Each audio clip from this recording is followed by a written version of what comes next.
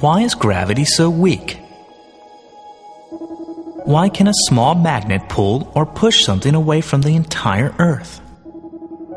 There is an idea that may explain it. But before we go there, let's explore more preliminary ideas first. The most popular quantum gravity theory of today describes all fundamental particles as vibrating strings of energy. And the theory is constructed in a whopping 9 or 10 spatial dimensions instead of the three that we experience in our everyday lives. But what is a dimension?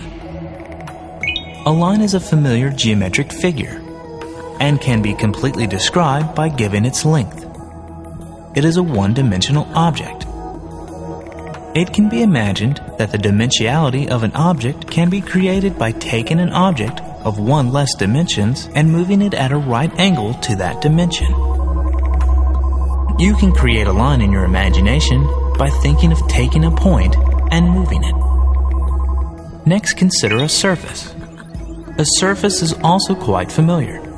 A surface has both length and width and requires two measurements to define it, and therefore is a two dimensional object. Similar to a generation of a line from a point, we can generate a two dimensional surface by taking a line and moving it in a direction other than the direction of the length.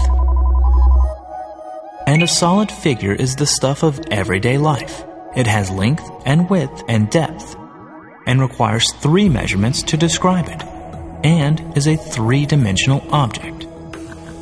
And like the generation of a surface from a line, we can generate a three dimensional object like a cube by taking a square and moving it in a direction other than the direction of the length and the width. Cylinders, cubes, and spheres are three dimensional objects.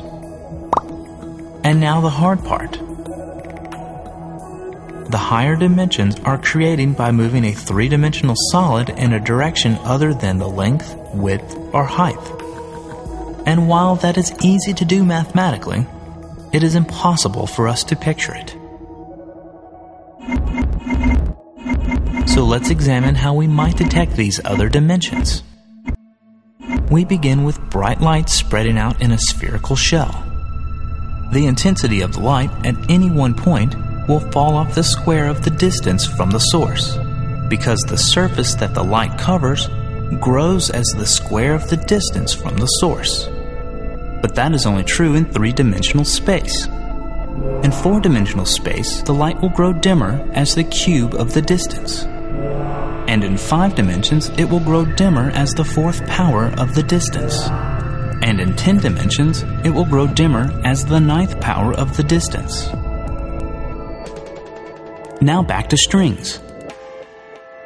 If this membrane represents the three dimensions that we live in, then particles like quarks and electrons are the strings that have the endpoints forever attached to those three dimensions. They might look like this. But the particle that is the force carrier for gravity, the graviton, is a closed loop. It has no ends that are constrained to our three dimensions.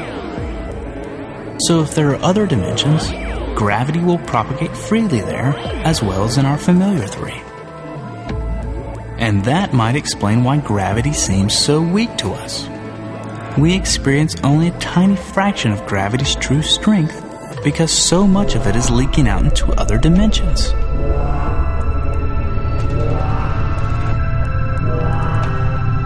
But where are these dimensions hiding?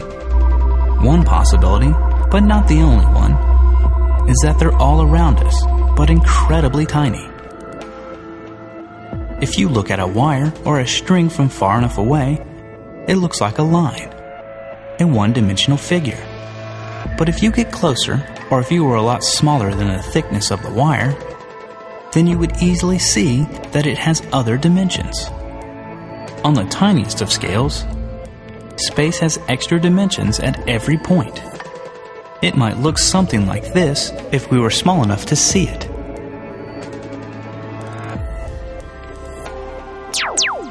Accelerators like the LHC at CERN smash protons against antiprotons at enormous energies.